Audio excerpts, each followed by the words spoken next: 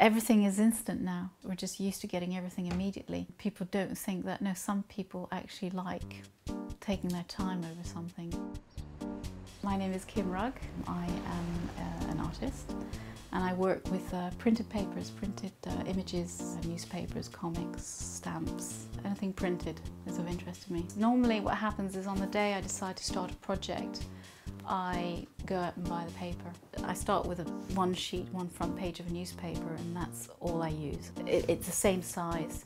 From a distance it'll look like the same piece, the same thing. Um, it's only when you get close enough that you realise that mm, that's not a normal text. But I don't add anything and I don't take anything away. Everything you start with will end up in the finished piece. This is an old Guardian from 2005. I've already cut up all the, um, the columns, the edges, the, the blanks. This one is arranged in alphabetical order. I still wanted to look a bit like the original in terms of the composition. All I'm doing literally is removing the message but keeping the messenger.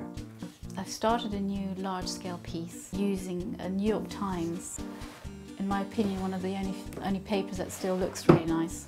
I will recreate this page, but only using the A's. Each A will be placed in its place on the page.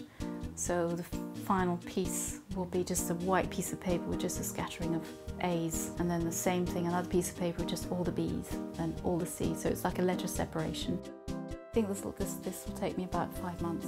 This one is um, it's a special stamp for um, the marriage of um, Charles and Camilla. What I just did here was to stretch it by um, making, using two stamps and slicing them very, very thinly and putting each piece side by side to give the, the impression of, of, a stretch, which could be done in two seconds on Photoshop. I don't use Photoshop. The Queen's first class stamp just uh, made up with four stamps. The works with stamps is absolutely crucial for me to actually put it in the post box and allowing the postal system to take charge of it until the work is redelivered um, to, through my front uh, door, my letterbox.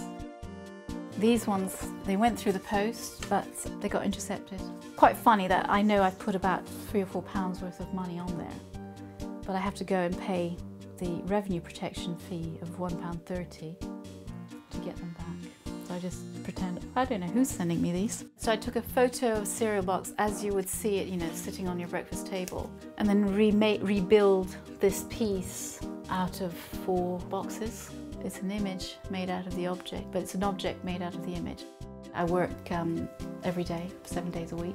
I need to do it. I've always, I'm never idle. I'm always doing something.